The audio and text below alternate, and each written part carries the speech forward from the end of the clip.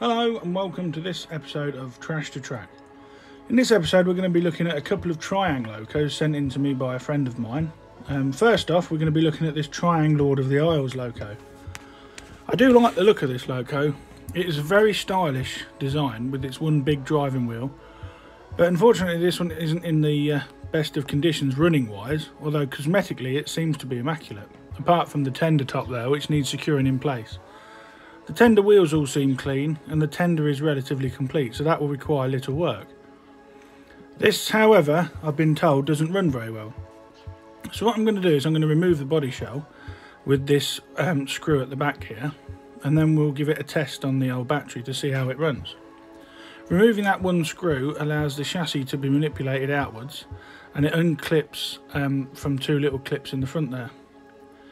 As I said, cosmetically the body shell doesn't look to be in too bad a condition, it just needs a dusting over. Nothing is loose and the dome is secure, so we shouldn't be having to do much to uh, the body shell at all. Despite this model being probably 60 years old now, I do like the design. Now we've got the chassis on the track, we'll give it a quick battery test to see how it runs. And it's trying to go, although there's not much life there to be quite honest. As you'll notice, this isn't the standard X04 Triang motor in this. This is actually a TT gauge um, mo model that was used in Triang's TT range in the 60s. I believe it's called an XT60 motor, and I've not worked on one before, so this will be a learning curve. First off, I'm going to strip the loco down by removing that front pony wheel by undoing this small brass screw at the front here, just to uh, get it out of the way. As much like the body shell and tender, the front bogie just only needs a dust over. There's no work needed for that at all. Now I've got the um, bogie removed, I'm going to remove the chassis uh, keeper plate here just to release the wheels a bit to see what we're working with and to clean those pickup wires. There is quite a lot of dirt buildup on the wheel tread so that will need uh, cleaning off as will that old staple there that appeared to be stuck to the magnet. So God knows how many years that's been stuck to the bottom there. Now to remove the motor, I just simply pull that uh, lead out there which provides power to one of the brushes and I undo the screw at the rear thinking that it will pull out. However it seemed to be quite firmly wedged into the two slots in which the motor um, fits on this chassis and it wouldn't budge. So I end up taking the screw off on the top uh, the one you can just see in there, not this one. This one holds the wires to the chassis to allow pickup. But this middle screw that I'm undoing now, I thought this held the motor in place. But as you will see, once I undid that screw, the motor actually come apart in two pieces. Here you can see the motor actually separates and the armature comes out as well as the brush holdings with the remainder stuck in that groove that's in the chassis there. Gentle persuasion got this out and uh, I'll have to rebuild the motor. As I said, I've never worked on one of these motors before, so it's all a learning curve. The brushes for this motor are also specific to this model only, and as you can see there, that brush has got virtually no carbon left on it at all. This is It's unbelievable that that motor turned over at all. The amount of carbon on there is negligible, so I don't know whether that's worn off or whether that was a factory error, as the other brush appears to be um, in good condition. So I'm going to give the armature and the commutator now a, um, a good cleaning and I'm also going to then try and reassemble the motor. One thing I will say about this motor is there are thrust bearings on each end of this motor in little holes and you must not lose these as they are impossible to replace.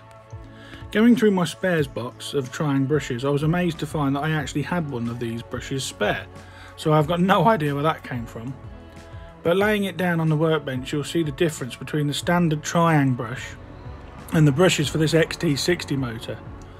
The standard brush there, I'm just fishing out of the pot here. And if I put them side by side, you can see that the X04 motor brushes are slightly larger, so they would not fit this motor. I had to go online and buy a few more spares of these brushes, just in case any of these engines come uh, in for repair in the future.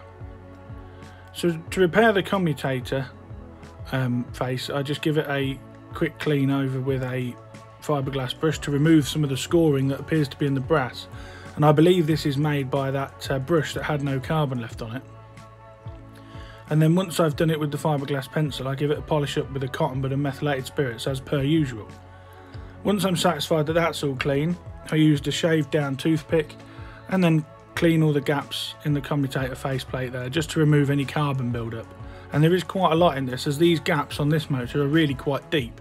They are deeper than the ones on the X04 motors. Once it's all been uh, done, I give it a final polish there with the methylated spirits and a cotton bud, and now it's time to start reassembling the motor.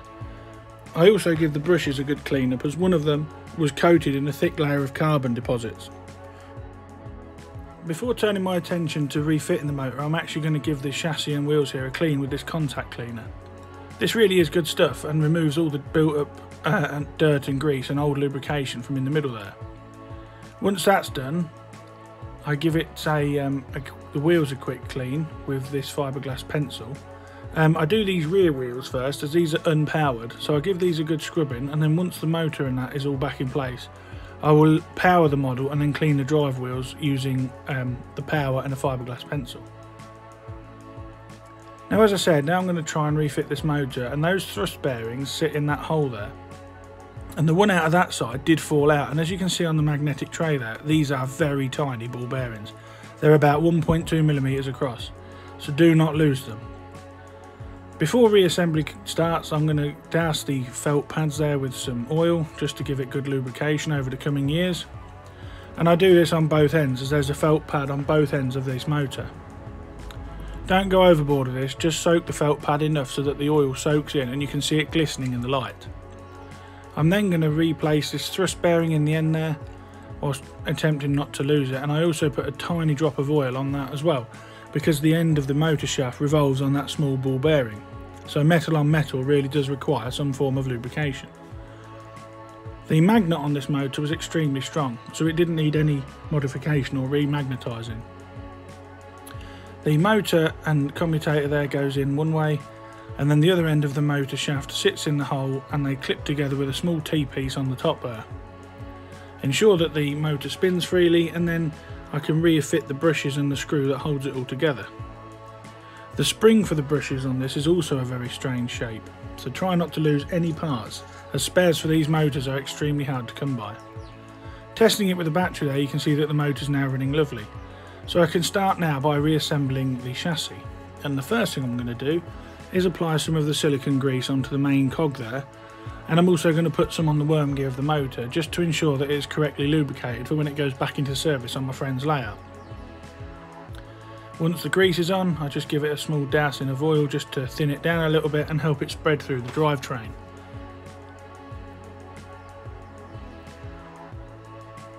The motor, as I said before, slides in two slots that are die cast into the chassis it's a very tight fit on this model, but gentle persuasion pushes the motor back in place. And then I reattach the brass screw at the end and the motor's refitted, ready for testing. One of the reasons I did two locos in this one trash to track is that the rebuild of this Lord of the Isles took very little time at all and the video was only initially 10 minutes long so I just thought I'd bite the bullet and get both of the um, Triang locos that were sent in by the same person done at the same time.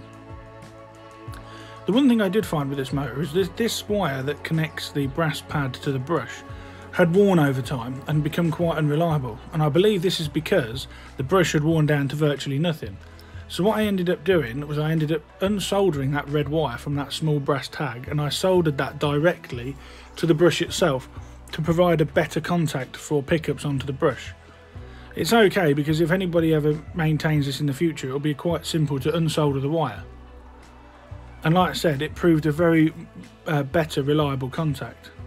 And as you can see there just giving the battery test of the unpowered rear wheel everything seems to be in order. And as I said here I am just soldering the wire directly to the brush plate there. You don't need to apply much heat here and do it gently as you don't want to melt any of the plastic parts on the motor that hold the brushes in place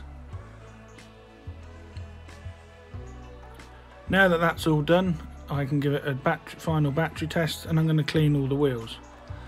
I did clean the pickups and the backs of the wheels as well and all seems to be running quite nicely. The next job is to reattach the uh, front pony truck there and I'd left the screw in situ so I knew which one it was. And again, as I've said before, do not over tighten your brass screws into the diecast chassis as you don't want to strip the threads or cross thread it as you could end up damaging the model. Now that that chassis has been rebuilt and it was relatively fast this time, I'm going to give the body shell a good dusting with a stiff old paintbrush just to remove any surface dust and then we'll reattach the body shell to the chassis. To reattach the body shell you have to first engage the two clips at the front there that go in the holes in the body shell and then gently push the whole chassis into the body shell and secure with the rear screw again. Again, with the rear screw, you don't want to over tighten this one, as if you do over tighten it, you will end up cracking that plastic that holds it in place. This plastic is over 60 years old, so it is getting quite brittle now, so you do need to work carefully.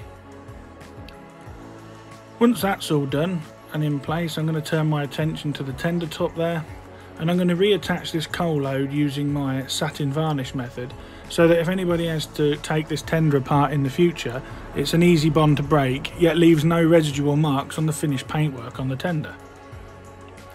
By running some satin varnish around with a cocktail stick and then pushing it firmly home and leaving it to dry it proves to be a very solid and reliable join but as I said which is one which is easily broken should you need to dis dismantle the tender in a future date. Just ensuring there that all the pickups are in line with the wheels and they move with the lateral play of the wheels. And then I'm going to give it a test with the controller and this Lord of the Isles model seems to be running quite nicely. Now that we've done that rebuild, we're going to turn our attention to the second loco that was sent in by the same person. Namely this tired looking Triang Britannia, which has broken smoke deflectors. But one of the more unusual things with this is that when they sent it over to me was its tender. This model actually runs with a Hornby Dublo A4 tender which slots in the hole there. Something I've never quite seen before, but hey, if it works, it works, and it doesn't look too bad to be fair. It's not a, a standard class tender by any means, but it works, and it proves uh, a use for an otherwise unserviceable loco. Now I'm going to give the loco a quick battery test here, and it does run, but it could do with a service as it's very sluggish and it stops um, intermittently. You can see there that the smoke box is going to need to be repainted as well as it's lost a lot of its black paint over the years. To remove the body shell you simply unscrew one screw in the top and the whole thing lifts off to reveal an early form of Triang smoke unit sat in there. Unfortunately I don't have any smoke oil anymore so I'm unable to test it at this time but I have told the person whose train this is to give it a test when they get it back running on their layout. I will have to invest in some smoke oil for the, in the future if I get any Triang locos with smoke units, I can give them a good test. My dad had a smoke unit, Jinty, when I was a kid, and it was one of the best looking engines we had running around, puffing smoke out of its chimney. Now you've seen me do this before with an X04 motor, just remove that rear screw and the brass, um, sorry, the brush wire and the brass plate there, and we can remove the motor. Again, this motor looks to be in bad condition, but when battery power is applied, it spins quite nicely, so all it is in need of is a general service and cleaner. The chassis looks covered in crud and old lubrication, so we'll sort that out in a moment. Releasing the brushes there shows us that the um, commutator faceplate needs a good cleanup, and as usual, it's Cotton Buds methylated spirits to remove most of the dirt, polished up with a fiberglass pencil, and then the gaps in the armature plate are cleaned out with the same wooden cocktail stick as we used for Lord of the Isles.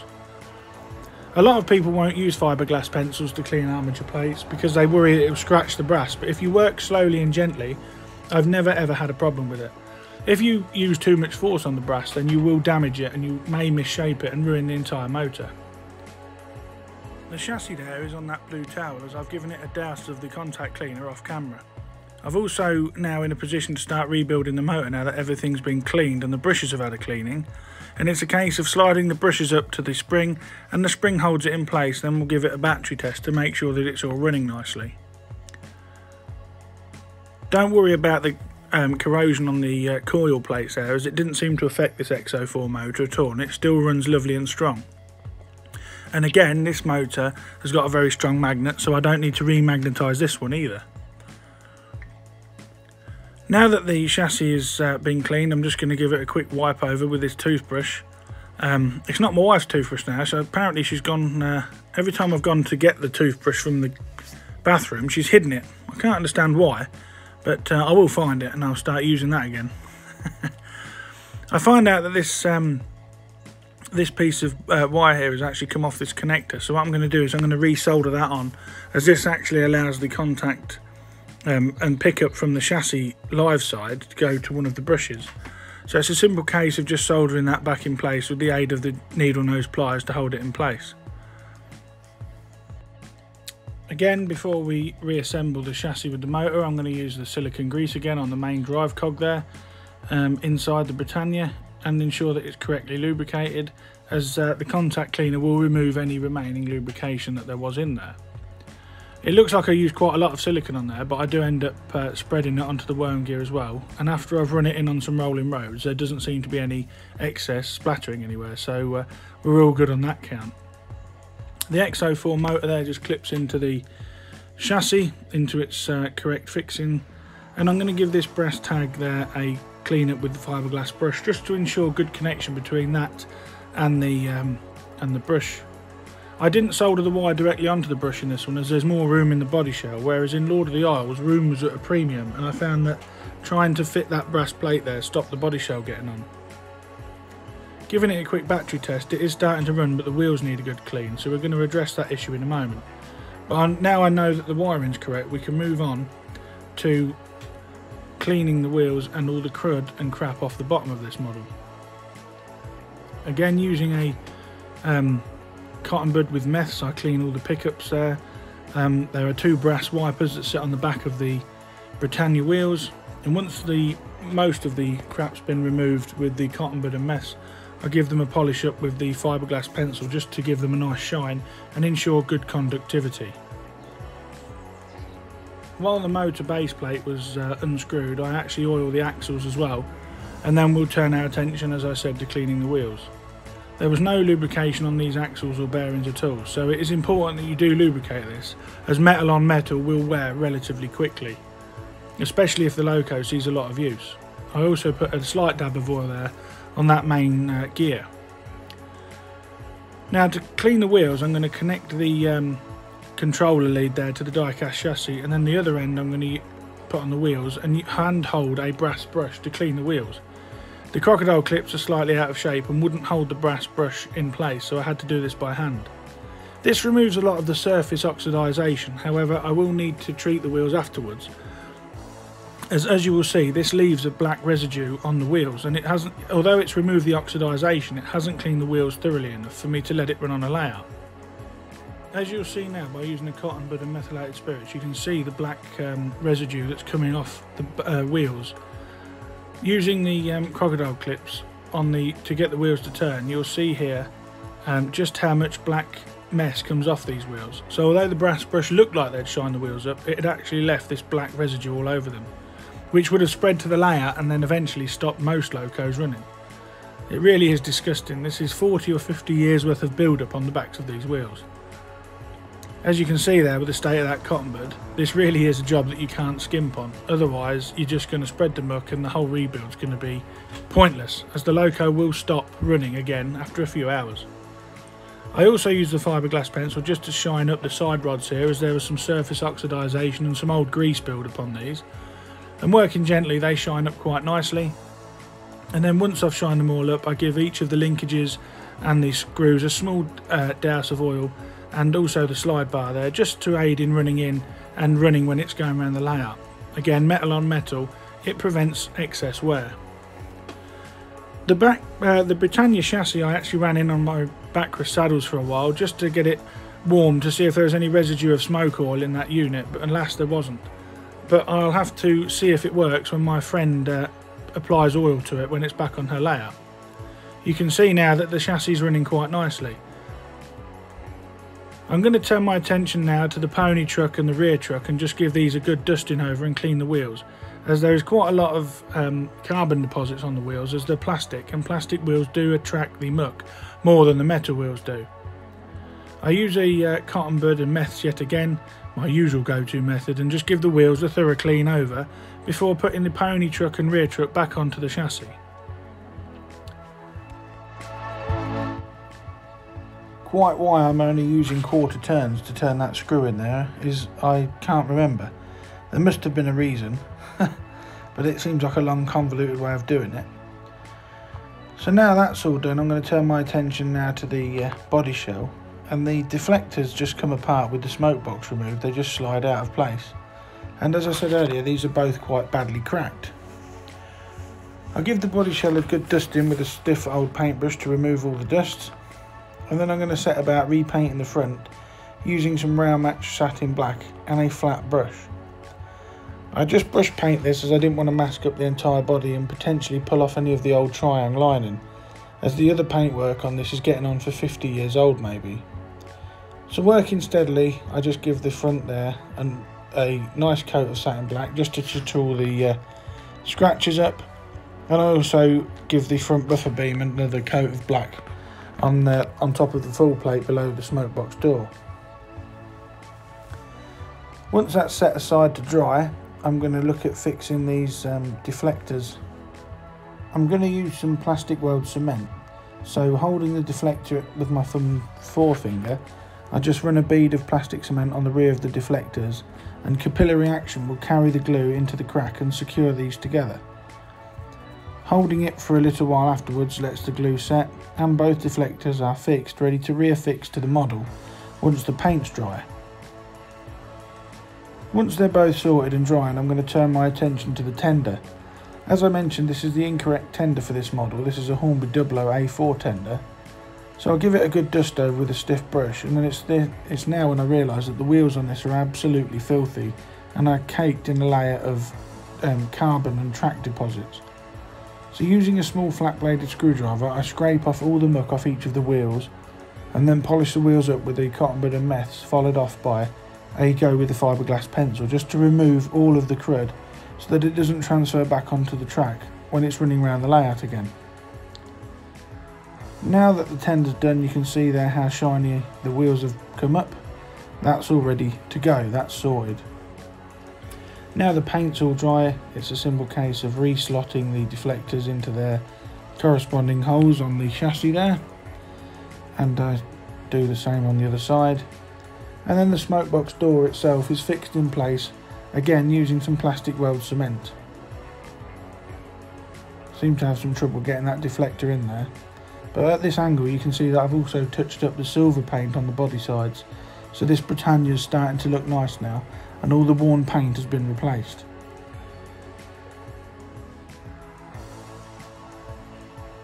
I actually fixed the um, smoke box door in place with some satin varnish. I thought I'd use the plastic weld cement, but no, I used the satin varnish method on this, and it holds it nice and secure, just in case you ever want to take the deflectors off in the future.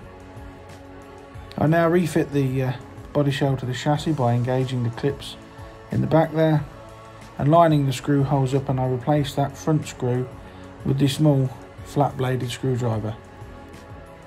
I've said it before and I'll say it again, don't over tighten your screws on the models as you can damage the plastic, especially with these older models where the plastic is getting on for 50 years old and is quite brittle. Putting the two back together on the track, just give it a quick battery test and it's running a lot better. So I'm pleased that we've fully serviced this Triang Britannia. It may not be the correct tender for this loco, but it doesn't look too bad sitting there with its A4 tender in matching BR green livery. I think it actually looks quite smart and suits this loco rather well. Because I did this uh, filming quite hurriedly, there is no turntable shots with these, so I'm going to leave you now with a few shots of the Britannia and Lord of the Isles running around my son's DC layout. If you've got an engine you'd like to see featured on Trash to Track, please email me on the email address on screen and we'll sort out getting it sent over and, possibly repaired and possibly feature in an upcoming episode of Trash to Track. Thanks again for looking. Please like, share and subscribe and I'll catch you in the next one. Bye for now.